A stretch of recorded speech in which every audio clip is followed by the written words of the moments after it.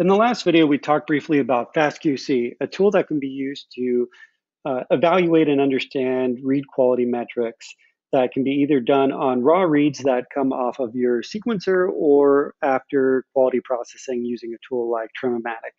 So in this video, we're going to go through a little more detail what that output looks like. This is the same one we saw from our Streptococcus pneumonia genome assembly after the Trimmomatic step. And what is normally done, and I kind of skipped in this part, is assessing the reads before you're trimming.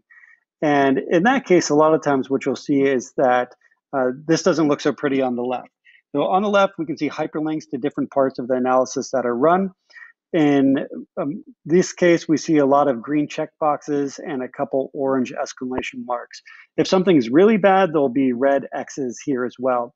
So if you were to run this on the raw reads, you likely would see a few of these that had uh, red X's through them that would greatly improved, be greatly improved by uh, running a program like Trimmomatic. So let's go through this in a little more detail. You'll see some basic statistics. It has our file name right here, the file format, the total number of sequences, so that's an important piece right there. You could use this along with your read length to determine the idealized coverage of your genome. So for example, I know that I have a 2.1 megabase organism. I have this many sequences. My average read length is 100 base pairs and I can uh, determine what my coverage is. Again, we usually aim for 30 to 50x for most uh, sequen sequencing experiments. We'll also see the distribution of read length. So in this case, uh, the max read length is 100 base pairs. These reads were for, from paired end uh, 100 base pair reads. Most cases, I'm using the 500 cycle kit for the Illumina MiSeq, which means that my reads will be 2 by 250. Uh, usually the little the extra read length will help you out better with your de novo assemblies. So if we continue on, we'll see the per base quality uh, metrics. And this will be kind of as a sliding window from one to 100, and it'll show the distribution of per base quality along that read. Now, if uh, any of you are familiar looking at this, this is a forward read, but if we were looking at a, a reverse read, we usually see a trail off at the end in, um, in, in this area from where it goes from 80 to, let's say, 100 base pairs will drop into the orange. So there's a, a couple things that Trimmomatic does, and we can discuss it in this window here. So uh, depending on how you're constructing your libraries, your read length won't always be 100 base pairs. You're going to have a size distribution of your of your reads. If you're using a Covaris to mechanically shear your DNA, this may actually be uh, more standardized. So you may have uh, a very tight distribution of read lengths.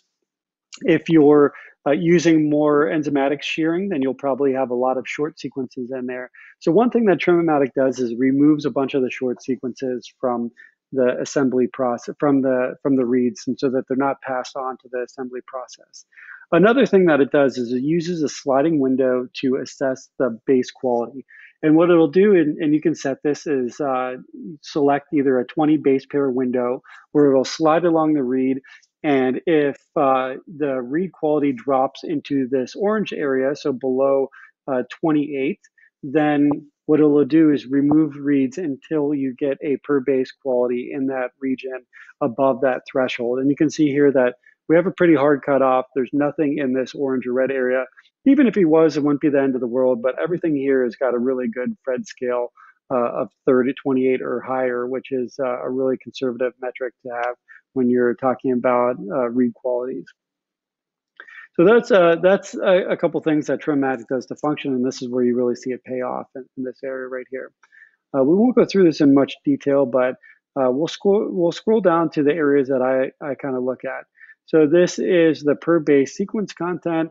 And this will tell you if you have an overabundance of uh, any one nucleotide. It'll also give you an idea of what the GC content is of your organism.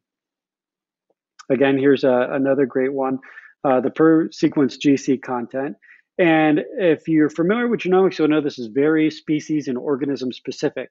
So if you were to look at this uh, for a number of different organisms altogether, and there's a great tool for doing that called multi-QC, you can combine a number of these plots together. And what becomes very apparent is if you have any contamination in your uh, reads it will usually that'll appear as a double sp- spike or if you have something that you sequence that you think is in, in this case streptococcus pneumonia and isn't it'll have a very different GC peak than uh, or GC distribution than your target organism. And that's a good red flag when you're looking at a large data set that, hey, I need to look at this in, in more detail. It's either not the species that I think it is, uh, which actually we saw recently in a, a, project we were doing with Staph aureus. We found a closely related species that was uh, similar but not the, the same uh, genome content. Uh, or it will tell you that your sample had contamination in it, which will look like multiple GC pinks or kind of a, a couple additional bumps in here. So this is a, a really helpful uh, figure to look at. Per base N content, that'll tell you whether you have any nucleotides that were undetermined in your sequence. Sequence read distribution, again, uh, I was pretty conservative with my trimming, and as a result, there's really not that much of a distribution. We only see reads that are 98 to 100 base pairs that are in this data set. Sequence level duplication, this again is a, another indication of either adapter contamination or some other type of contamination, which would show up in this underrepresented sequences. And it does that using something called K-mer analysis. So it'll tell you if you have, uh, for example, if you didn't trim off adapters and you had them still left in your data, they would certainly come up in this area. You would see your adapters listed here since each one of your sequences would have the same uh, adapter. And that gets more explicitly detailed in this figure right here, where it has all of the adapters that are stored in this program and will tell you whether any of those adapters are, are still in your, uh, in your data set. So that's the end of it for FastQG, uh, for FastQC. This is again a, a, really commonly used and important tool that you can use to assess your sequence quality before moving on to de novo assembly. This is surely when you want to do this stuff before trying to figure out why your phylogenies look weird or why some other down the stream analysis looks odd. Again, a, another tool in the future that we can review is multi-QC to be able to do things like overlay a number of these GC content figures uh, on top of each other. So more to come.